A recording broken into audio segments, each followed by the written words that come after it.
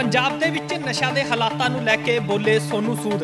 ਨਸ਼ਿਆਂ ਦੇ ਲਈ ਪੰਜਾਬ ਸਰਕਾਰ ਦੀ ਕਾਰਜਕਾਰੀ ਨੂੰ ਲੈ ਕੇ ਆਖੀ ਵੱਡੀ ਗੱਲ। ਪੰਜਾਬ ਦੇ ਵਿੱਚ ਨਸ਼ਾ ਦੇ ਹਾਲਾਤਾਂ ਨੂੰ ਲੈ ਕੇ ਜੋ ਸੋਨੂ ਸੂਦ ਬੋਲੇ ਨੇ, ਉਹਨਾਂ ਨੇ ਪੰਜਾਬ ਸਰਕਾਰ ਦੇ ਲਈ ਵੀ ਵੱਡੀ ਗੱਲ ਆਖੀ ਹੈ। ਸੋਨੂ ਸੂਦ ਨੇ ਆਪਣੇ ਸੋਸ਼ਲ ਮੀਡੀਆ ਅਕਾਊਂਟ ਤੇ ਇੱਕ ਵੀਡੀਓ ਸਾਂਝੀ ਕੀਤੀ ਹੈ, ਜਿਸ ਦੇ ਵਿੱਚ ਉਹਨਾਂ ਨੇ ਕਿਹਾ ਹੈ ਕਿ ਜੋ ਪੰਜਾਬ ਹੈ, ਇਸ ਨੂੰ ਨੌਜਵਾਨ ਗੱਭਰੂ ਜਵਾਨਾਂ ਦੀ ਧਰਤੀ ਕਿਹਾ ਜਾਂਦਾ ਸੀ। ਪਰ ਅੱਜ ਕੱਲ ਮੈਨੂੰ ਸੁਣਨ ਚ ਮਿਲਦਾ ਹੈ ਕਿ ਜੋ ਪੰਜਾਬ ਹੈ, ਇਸ ਨੂੰ ਨਸ਼ਿਆਂ ਨੇ ਖਰਾਬ ਕਰਤਾ ਹੈ। ਜੋ ਪੰਜਾਬ ਦੀ ਜਵਾਨੀ ਹੈ, ਉਹ ਨਸ਼ਿਆਂ ਨੇ ਖਾ ਲਈ ਹੈ। ਉਹਨਾਂ ਦਾ ਕਹਿਣਾ ਹੈ ਕਿ ਅਕਸਰ ਹੀ ਜਦੋਂ ਮੈਂ ਮੋਗੇ ਵੱਲ ਜਾਣਾ ਹੁੰਨਾ ਪੰਜਾਬ ਆਂਦਾ ਤਾਂ ਮੈਨੂੰ ਉੱਥੇ ਬਹੁਤ ਸਾਰੇ ਨੌਜਵਾਨ ਮਿਲਦੇ ਨੇ, ਜਿਹੜੇ ਨਸ਼ਿਆਂ ਦੇ ਨਾਲ ਪੀੜਤ ਨੇ। ਨਸ਼ਿਆਂ ਦੇ ਨਾਲ ਨੌਜਵਾਨ ਪੀੜਤ ਨੇ ਜਿਸ ਦੇ ਕਾਰਨ ਕ੍ਰਾਈਮ ਵੱਧਦਾ ਹੈ। ਕ੍ਰਾਈਮ ਕਿਉਂ ਵੱਧਦਾ ਹੈ? ਕਿਉਂਕਿ ਉਹਨਾਂ ਨੂੰ ਆਪਣੇ ਨਸ਼ੇ ਦੀ ਪੂਰਤੀ ਦੇ ਲਈ ਪੁੱਠੇ ਸਿੱਧੇ ਕੰਮ ਕਰਨੇ ਪੈਂਦੇ ਨੇ। ਉਹਨਾਂ ਕਿਹਾ ਕਿ ਸਾਨੂੰ ਮਿਲ ਜੁਲ ਕੇ ਇਸ ਦਾ ਹੱਲ ਕਰਨਾ ਪਵੇਗਾ ਤੇ ਆਓ ਅਸੀਂ ਪੰਜਾਬ ਨੂੰ ਫਿਰ ਤੋਂ ਮੁੜ ਤੋਂ ਟੋਪ ਤੇ ਲੈ ਕੇ ਜਾਈਏ। ਤਾਂ ਹੋਰ ਕੀ ਕੀ ਗੱਲਾਂ ਉਹਨਾਂ ਨੇ ਆਪਣੀ ਇਸ ਵੀਡੀਓ ਦੇ ਵਿੱਚ ਪੰਜਾਬ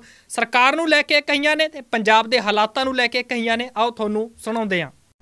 ਸਤਿ ਸ਼੍ਰੀ ਅਕਾਲ ਸਾਰਿਆਂ ਨੂੰ। ਸਾਰਿਆਂ ਨੂੰ ਪਹਿਲਾਂ ਤਾਂ ਮੈਂ ਇਹ ਕਹਿਣਾ ਚਾਹਾਂਗਾ ਕਿ ਪੰਜਾਬ ਦੀ ਧਰਤੀ ਹਮੇਸ਼ਾ ਗੱਭਰੂ ਜਵਾਨਾਂ ਲਈ ਜਾਣੀ ਜਾਂਦੀ ਸੀ, ਲੇਕਿਨ ਹੁਣ ਪੰਜਾਬ ਨੂੰ ਬੜੇ ਚਿਰ ਤੋਂ ਮੈਂ ਹਮੇਸ਼ਾ ਦੇਖਦਾ ਹਾਂ ਕਿ ਲੋਕੀ ਕਹਿੰਦੇ ਕਿ ਪੰਜਾਬ 'ਚ ਡਰੱਗਸ ਬਹੁਤ ਨੇ, ਜਿਹੜਾ ਨਈ ਪੀੜ੍ਹੀ ਹੈ, ਜਿਹੜੀ ਨਇਆ ਯੂਥ ਹੈ, ਉਹ ਡਰੱਗਸ ਨਾਲ ਬਹੁਤ ਪ੍ਰਭਾਵਿਤ ਹੈ ਔਰ ਮੈਂ ਖੁਦ ਵੀ ਪਰਸਨਲੀ ਜਦੋਂ ਮੈਂ ਮੋਗੇ ਜਾਣਾ ਹੈ ਜਿਹੜੇ ਪੰਜਾਬ ਦੇ ਹਿੱਸੇ ਜਾਣਾ ਹੈ, ਉੱਥੇ ਬਹੁਤ ਸਾਰੇ ਲੋਕ ਯੰਗ ਜਿਹੜੀ ਬਰੀਡ ਹੈ, ਉਹ ਡਰੱਗਸ ਨਾਲ ਬਹੁਤ ਜ਼ਿਆਦਾ ਘਿਰੀ ਹੋਈ ਹੈ ਡਰੱਗਸ ਦੇ ਕਾਰਨ ਕ੍ਰਾਈਮ ਵੱਧਦਾ ਹੈ, ਕਿਉਂਕਿ ਡਰੱਗਸ ਖਰੀਦਣ ਨੂੰ ਉਹਨਾਂ ਨੂੰ ਪੈਸੇ ਚਾਹੀਦੇ ਤੇ ਉਲਟੀਆਂ ਸਿੱਧੀਆਂ ਉਹਨਾਂ ਨੂੰ ਚੀਜ਼ਾਂ, ਉਹਨਾਂ ਨੂੰ ਕ੍ਰਾਈਮ ਕਰਨਾ ਪੈਂਦਾ ਹੈ।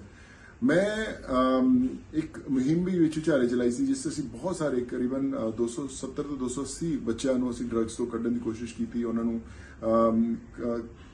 ਸਪੋਰਟ ਕਰਨ ਦੀ ਕੋਸ਼ਿਸ਼ ਕੀਤੀ ਕਿਸ ਤਰ੍ਹਾਂ ਉਹ ਡਰੱਗਸ ਦੁਨੀਆ ਤੋਂ ਬਾਹਰ ਆ ਸਕਦੇ ਨੇ। ਲੇਕਿਨ ਬਹੁਤ ਸਾਰੇ ਐਸੇ ਲੋਕ ਜਿਨ੍ਹਾਂ ਤੱਕ ਅਸੀਂ ਨਹੀਂ ਪਹੁੰਚ ਸਕਦੇ ਉਹਨਾਂ ਨੂੰ ਠੀਕ ਕਰਨ ਲਈ ਪੰਜਾਬ ਸਰਕਾਰ ਨੇ ਆਨਰੇਬਲ ਸਾਡੇ ਸੀਐਮ ਸਾਹਿਬ ਭਗਵੰਤ ਮਾਨ ਭਾਜੀ ਨੇ ਔਰ ਅ, ਸਾਡੇ ਡੀਜੀਪੀ ਸਾਹਿਬ ਨੇ ਯਾਦਵ ਜੀ ਨੇ ਬਹੁਤ ਹੀ ਕਮਾਲ ਦੀ ਜਿਹੜੀ ਮੁਹਿੰਮ ਚੱਲੀ ਹੈ ਛੇੜੀ ਹੈ, ਜਿਹਦੇ ਵਿੱਚ ਪੰਜਾਬ ਨੂੰ ਡਰੱਗਸ ਫ੍ਰੀ ਬਣਾਉਣਾ ਹੈ, ਉਹ ਬੜੀ ਕਮਾਲ ਦੀ ਹੈ। ਮੈਂ ਸਾਰਿਆਂ ਨੂੰ ਕਹੂੰਗਾ ਕਿ ਇਸ ਸਪੋਰਟ ਕਰੋ। ਜਿਹੜਾ ਵੀ ਯੰਗ ਬੱਚਾ ਕਿਸੇ ਨੂੰ ਜਾਣਦਾ ਹੈ ਕਿ ਉਹ ਡਰੱਗਸ ਨਾਲ ਪ੍ਰਭਾਵਿਤ ਹੈ, ਉਹਦੇ ਬਾਰੇ ਦੱਸੋ। ਔਰ ਮਿਲ ਜੁਲ ਕੇ ਅਸੀਂ ਪੰਜਾਬ ਨੂੰ ਵਾਪਸ ਉਹ ਪੰਜਾਬ ਬਣਾਉਣਾ ਹੈ, ਜਿਹੜਾ ਨਸ਼ਾ ਮੁਕਤ ਪੰਜਾਬ ਹੈ। ਔਰ ਇਹ ਤਦ ਹੀ ਹੋ ਸਕਦਾ ਜੇ ਅਸੀਂ ਸਾਰੇ ਰਲ ਮਿਲ ਕੇ ਇਸ ਮੁਹਿੰਮ ਨੂੰ ਸਪੋਰਟ ਕਰੀਏ। ਚਲੋ, ਰਲ ਮਿਲ ਕੇ ਅਸੀਂ ਪੰਜਾਬ ਨੂੰ ਵਾਪਸ ਨਸ਼ਾ ਮੁਕਤ ਬਣਾਈਏ ਔਰ ਪੰਜਾਬ ਦੀ ਧਰਤੀ ਵਾਪਸ ਜਿਹੜੀ ਹੈ ਉਹ ਯੂਥ ਲਈ ਜਾਣੇ ਜਾਵੇ। ਇਹਦੇ ਲਈ ਮੈਨੂੰ ਤੁਹਾਡੀ ਸਾਰਿਆਂ ਦੀ ਸਪੋਰਟ ਹੈ।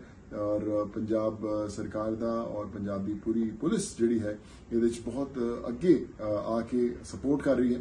ਸਾਨੂੰ ਉਹਨਾਂ ਦੀ ਸਪੋਰਟ ਕਰਨੀ ਹੈ ਔਰ ਮੈਂ ਦਿਲੋਂ ਉਹਨਾਂ ਨੂੰ ਸੈਲੂਟ ਕਰਦਾ ਹਾਂ ਕਿ ਜਿਹੜੀ ਐਫਰਟ ਹੈ ਇਦਾਂ ਹੀ ਜਾਰੀ ਰੱਖੋ। ਔਰ ਅਸੀਂ ਮਿਲ ਜੁਲ ਕੇ ਵਾਪਸ ਪੰਜਾਬ ਦਾ ਨਾਮ ਜਿਹੜਾ ਹੈ ਟੌਪ ਤੇ ਲੈ ਕੇ ਜਾਵਾਂਗੇ।